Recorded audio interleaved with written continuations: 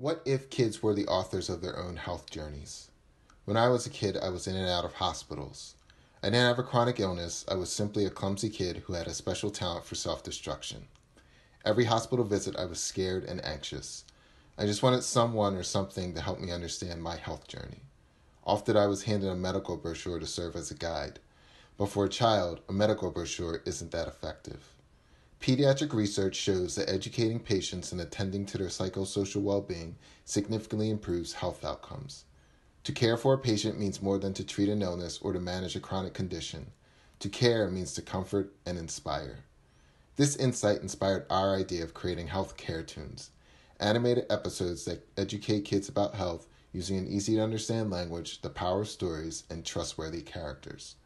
When we make way for wonder, kids and families are better educated about health and we can improve the health and well being of children worldwide.